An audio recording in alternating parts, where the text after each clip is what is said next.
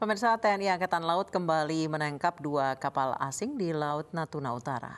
Dua kapal asing berbendera Vietnam tertangkap saat mencuri ikan di perairan landas kontinen Indonesia.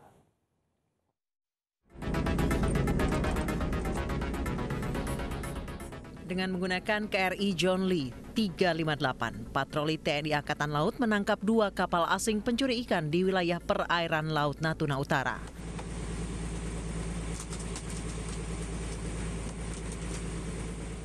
Dua kapal asing ini terdeteksi melalui radar KRI John Lee sedang mencuri ikan di perairan landas kontinen Indonesia.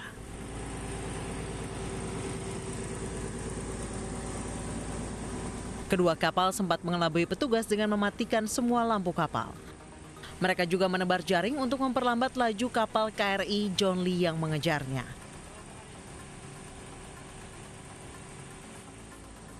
Hingga kini dua kapal berbendera Vietnam beserta 14 anak buah kapal masih diperiksa di Lanal Ranai di Natuna.